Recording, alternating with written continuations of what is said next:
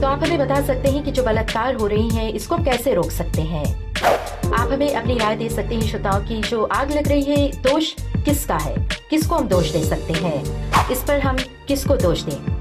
Drivers को या फिर पुलिस को? नमस्ते फीजी। देश की धड़कन रेडियो फीजी टू पर मैं मोहिनी। हमारे साथ में शामिल हो जाइएगा दृष्टिकोण प्रोग्राम में हर सोमवार से शुक्रवार तक, रात सात से आठ बजे तक दृष्टिकोण प्रोग्राम में।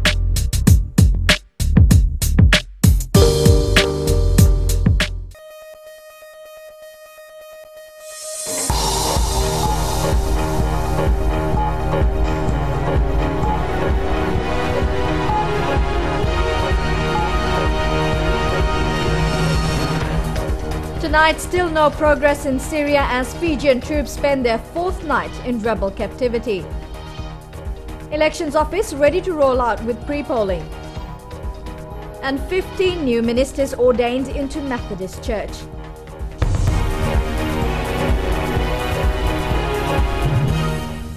Good evening, I'm Amrita Priyadarshini and this is FBC News. The Fiji military forces is preparing to send more men to replace 44 troops held captive by rebel groups in Syria.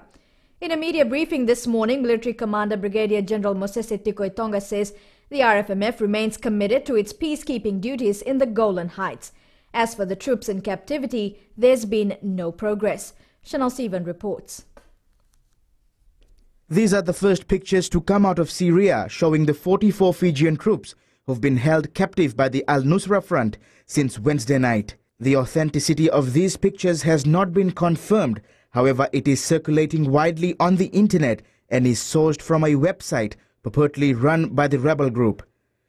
Military Commander Brigadier General Mosese Tikoitonga confirms the situation has not changed. Sorry to say at this stage that uh, things have not uh, been better. Uh, in fact, uh, the whole of UN is now under uh, uh, siege from the, um, anti-government uh, armed elements. Um, I think it's uh, now in the news that the uh, uh, are withdrawing from their positions uh, under fire uh, uh, as we speak, um, and uh, also the position that they're holding have been continuously harassed. Uh, it is important for us to note that uh, the force commander and his negotiation team um, are trying to work uh, with the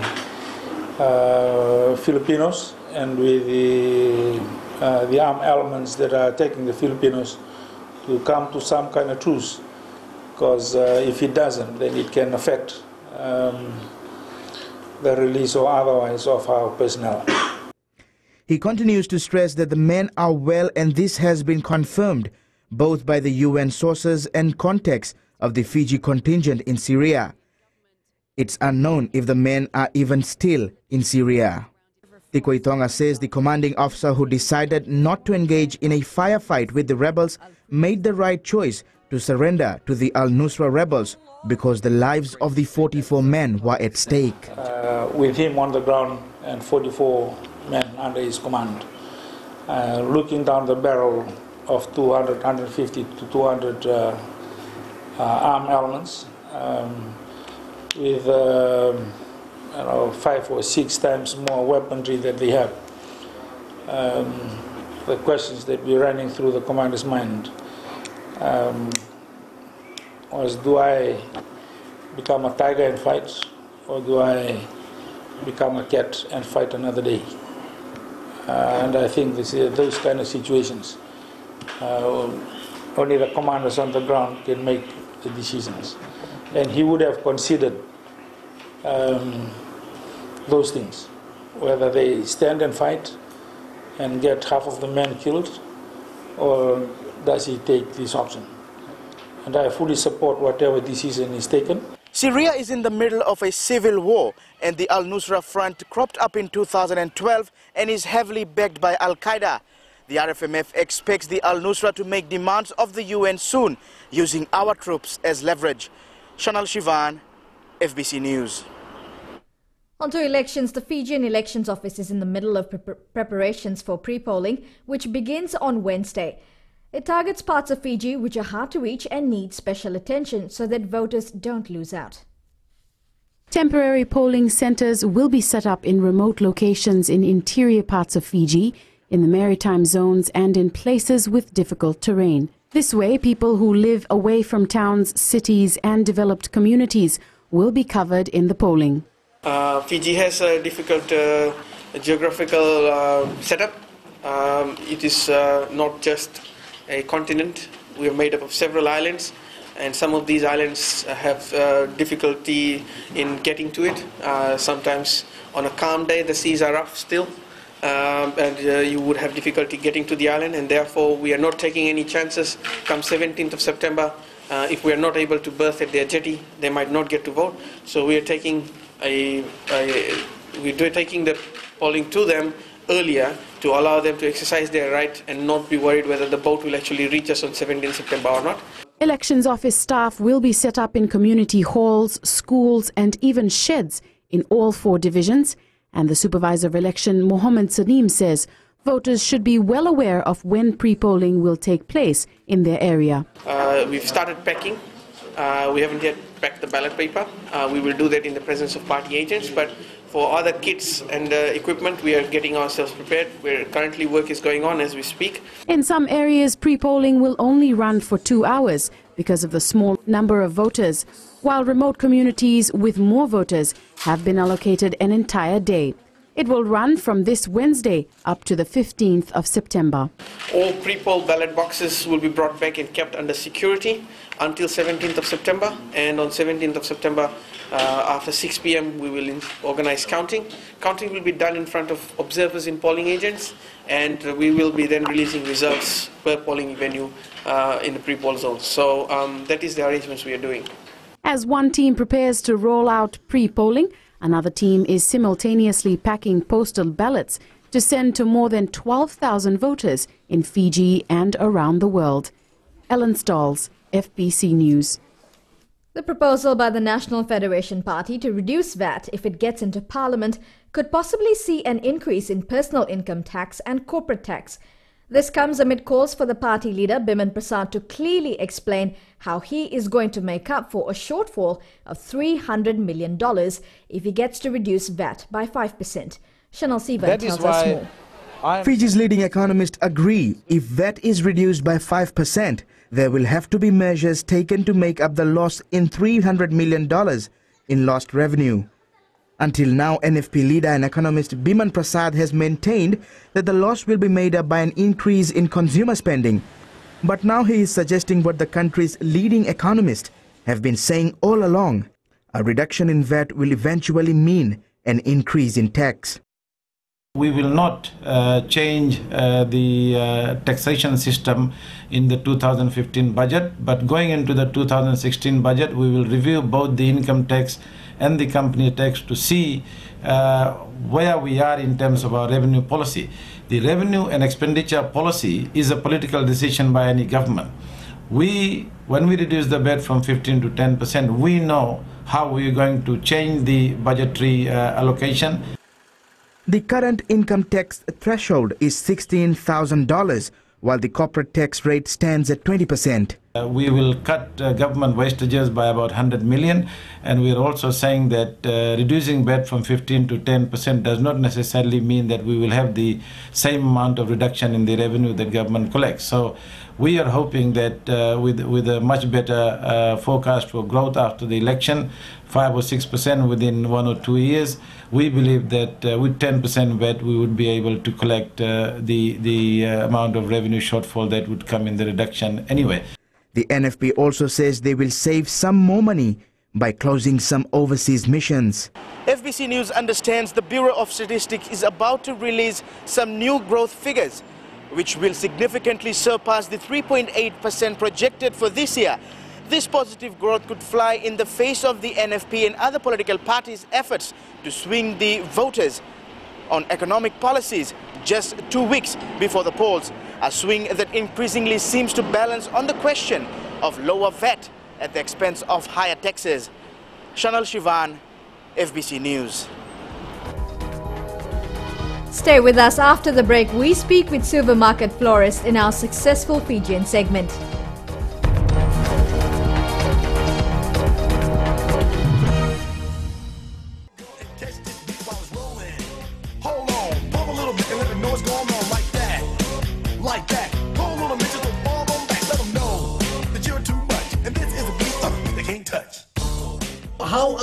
Doing, Fiji? Yes, indeed, fast approaching, well, the major bulletin. But before we even talk about the major bulletin, what about my little news flash? Oh my gosh, please don't let him get me started on that again. Getting on the bus yesterday, and then he tells me, brother, move on to the other seat. Because we can fit two people where you're sitting. Hey, you can't blame the dude for being honest, okay? There was nothing honest about what he said. Hi, I'm Phil. And I'm Fina, Your daybreak duo on Gold FM. from Mondays to Fridays. From 6 a.m. to 9 a.m. Turn us on.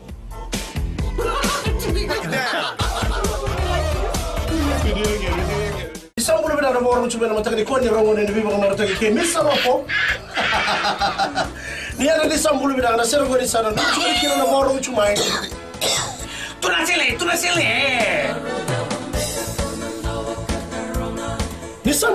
Mr. Ben.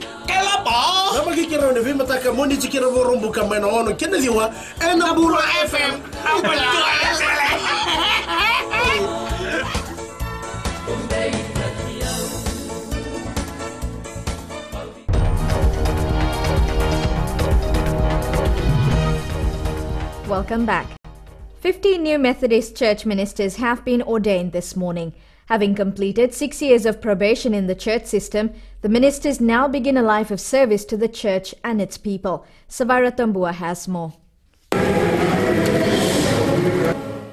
These 15 men and women have dedicated their lives to the church. I'm uh, happy and I thank the Lord for being with me. It's uh, been a challenging six years. The ordination was an emotional for Reverend Thema Vakanabuye, the first female minister from the Lomaiviti province. She is the widow of the late Reverend Savinatha Vakanabuye, who taught at Davuilevu Theological College until his passing away. She says serving the church without her husband isn't easy. I had that feeling that He was present with me. I thank the Lord for His calling that has given me the strength to continue the calling that we have from the very beginning, uh, together as a family. Church ministers who was ordained had to undergo various exams before being accepted as reverends in the Methodist Church. They undergo three years of uh, theological training at our local theological college, followed by three years of practical field experience. Following the, those six years, during which, uh, while they're in the field, they're also doing exams every year. And uh, if they pass their exams that year, they move on to the next year and the next year and the next year. The church will also have voluntary communication officers in each division to inform the church administrators on what's happening in various divisions. Sabaira Tambua, FBC News. BRED Bank has opened a new branch in Namaka Nadi in a bid to reach more customers around the country. Akasita Tale was at the launch.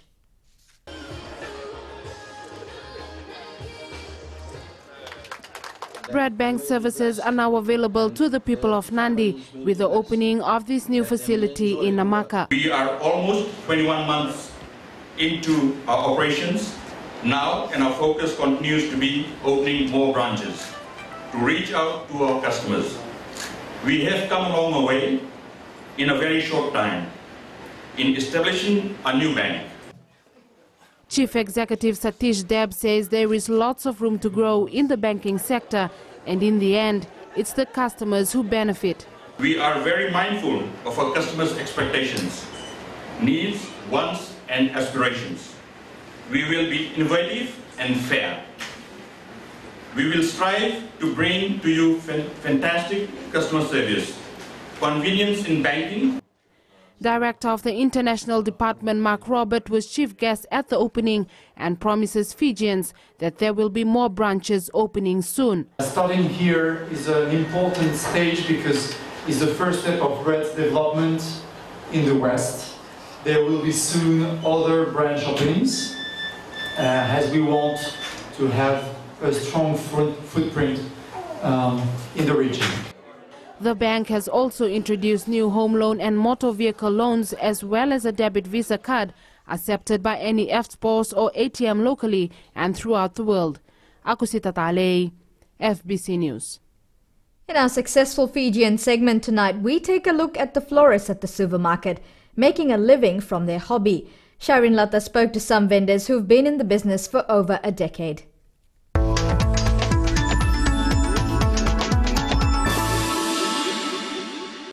This is by far the most colorful corner of the supermarket, attracting the attention of all who pass by.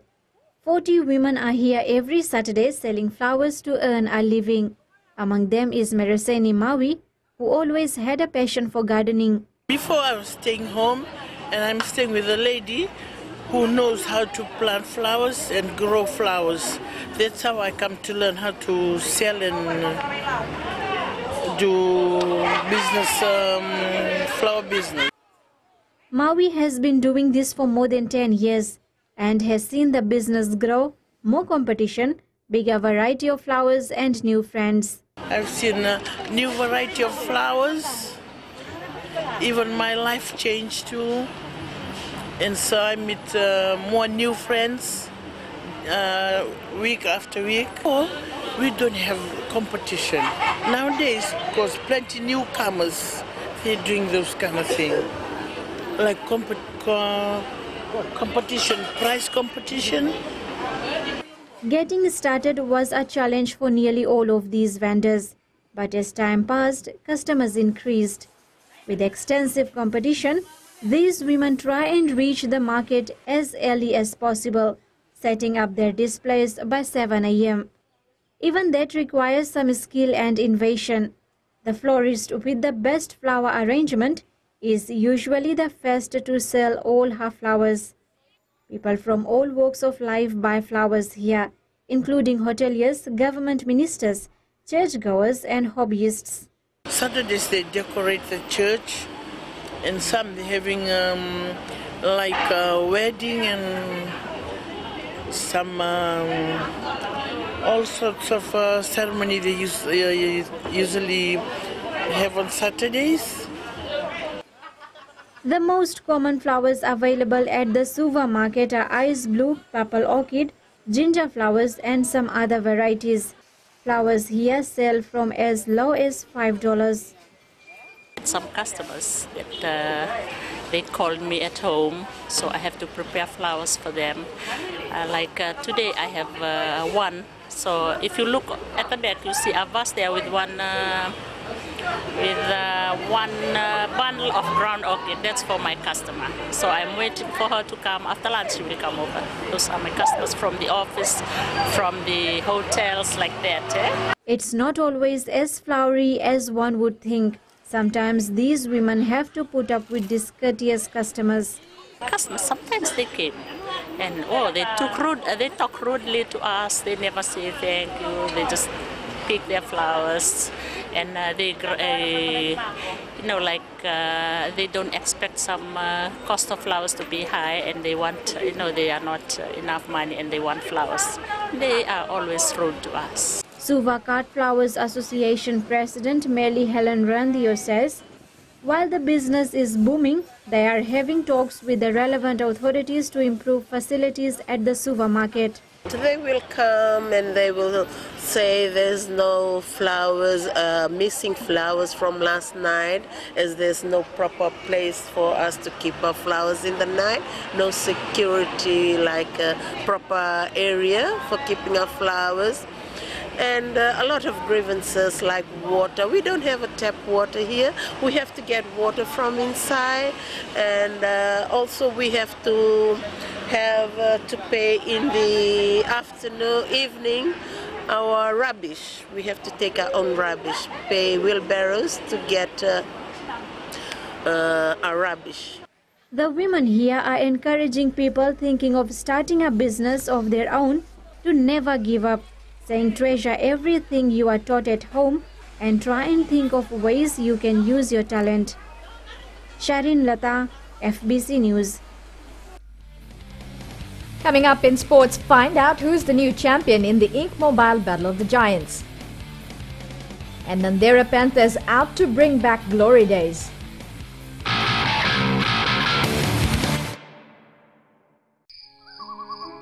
मेरा चाँद मुझे आया है नज़र, ऐ रात जरा थम थम के गुजर।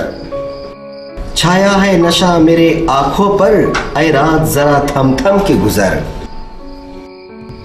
रह जाए ना प्यासा मेरा प्यार, मेरे बाहों में भर दे मेरा यार, ऐ रात जरा थम थम के गुजर, ऐ रात जरा थम थम के गुजर। हाय, मिर्ची एफएम पर मैं हूँ जितेन शांडिल। शामिल हो जाएगा हमारे साथ टू नाइट शो में। Monday to Friday from 7 PM to 12 am मिर्ची FM it's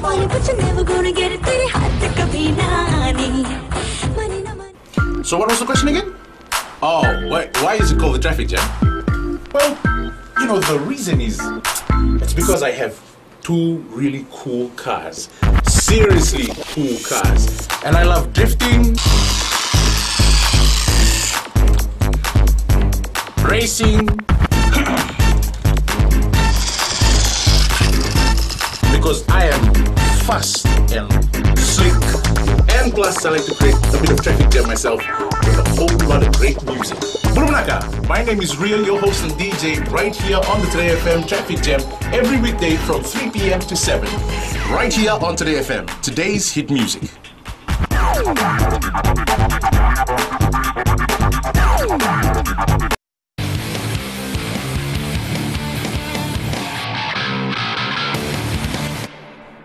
Welcome to FBC Sports National Under 20 football Reps. rep Setareki Hughes scored the decisive goal for Rewa to defeat Lautoka 2-1 in the Inkk Mobile Battle of the Giants tournament. It was a game of two halves with the Delta Tigers dominating the opening spell. Chalindo Dhakadhaka reports. The youthful combination in the Rewa side proved to be a winning one in the final of the Inkk Mobile Battle of the Giants tournament. Vodafone Fiji Under 20 rep Garish Chand served this neat cross for Setereki Hughes to thunder in the winning goal. I was uh, confident that I was going to score that goal because uh, at home I used to watch all the videos, uh, all the scoring goals. So I know that was uh, it was a lucky day today for me to score that winning goal for the Delta Tigers team. The win has sealed the coach's faith in his young brigade that played gallantly throughout the competition. It's just putting back into development in the as far as uh, uh, the whole football in the country is concerned. So I'm glad uh, young young players are taking uh, up uh, instruction and uh, working towards being better every day. Credit to Lautoka, they put up a worthy effort until the final whistle, earning them their first BOG title since 2011. Salendo Dakavak, FBC Sports. Meanwhile, in the third place playoff, Suva beat Ba by two goals to one. The Nadera Panthers Rugby League side has booked a spot in the semi-finals of the Vodafone Cup Top 8 competition after beating Burenito Cowboys 24-12 yesterday.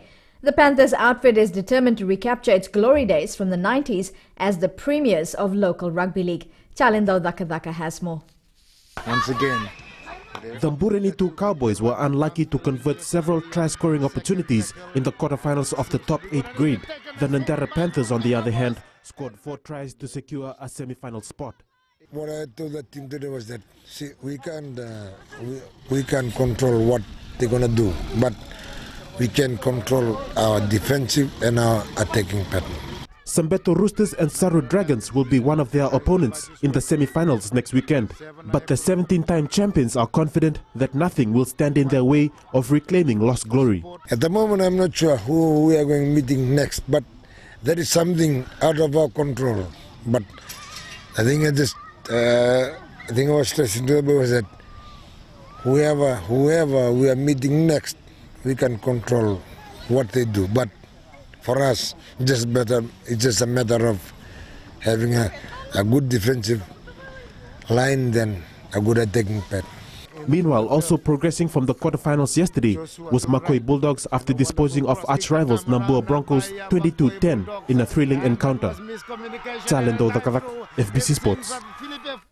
The BLK Nadroga rugby side had to dig deep to beat Naitasiri 25-20 in the first Farebrother Challenge match in Sigatoka yesterday.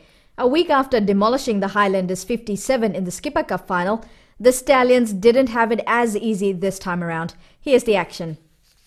And there to take it across on this side. Here is Tambulawaki again. Gets it into a, uh, to Wangatambu. A dummy pass. It goes straight in. Rawasa. Rawasa. Rawatha. Rawatha pushes off it. And a dummy tackle. To step over the top there. Nawangan, Nawangandal steps over the top. Picks up and drives. Did he get it? Did he get it this time? He has. He's got it in. I think that was Nawangandal. He moves around. Taps the back of Rundrunner onto Omosi. And Mosi makes a dive for and through he goes. Unloaded it to Kurosawa. And they're up to almost on the line. A pass over the shoulders and there's space out wide. And in extra time there the try is on. Back is Naitasiri again. Back out onto the open. The ball overrun. Nosoni Rocco gets it. Unloads. Gives it across wide. And here's the reward to Naitasiri. The try was made. 14-year-old Minash Farid became the youngest player to win the FMF National Under-20 Chess Championship Championship in Suva today.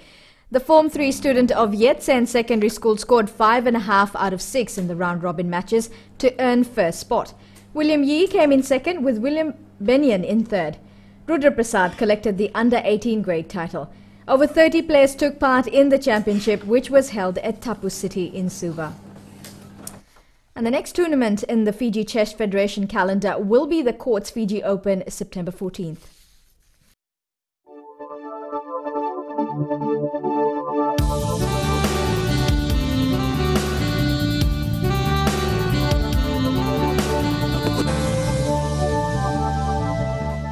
Brief showers were experienced over the interior and eastern parts of the larger islands. Fine weather prevailed elsewhere.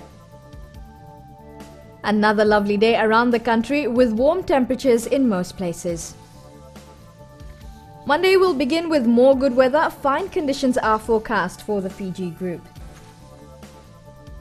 As for the further outlook, easterly winds 15 to 20 knots, moderate to rough seas. For the rest of Fiji waters, easterly winds 15 to 20 knots and moderate to rough seas. Recapping our top stories tonight. 44 Fijian troops remain captive in Syria and the Fiji military says it's still committed to the UN mission in the Golan Heights. Fijians elections office ready to roll out for, for pre-polling begins in three days. And 15 new ministers ordained into the Methodist Church of Fiji. It's now time for the Fijian Speak segment.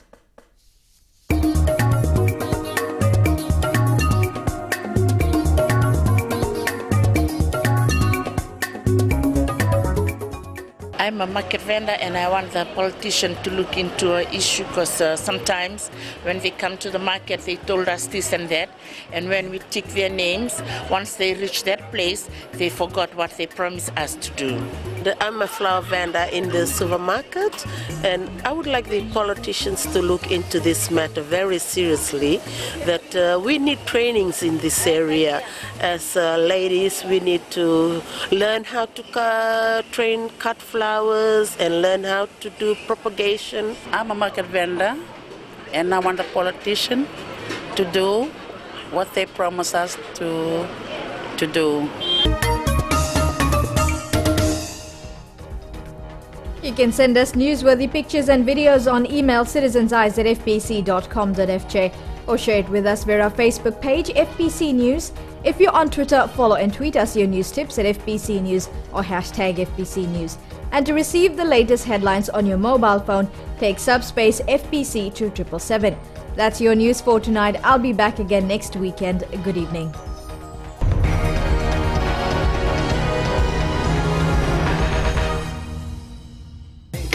Radio Fiji to देश की धड़कन पर आपका स्वागत है बच्चों की दुनिया में हमेशा की तरह आज भी हम आपके लिए कहानियाँ और कविताएँ लेकर आए हैं। और बच्चों, आप हमें कॉल भी कर सकते हैं।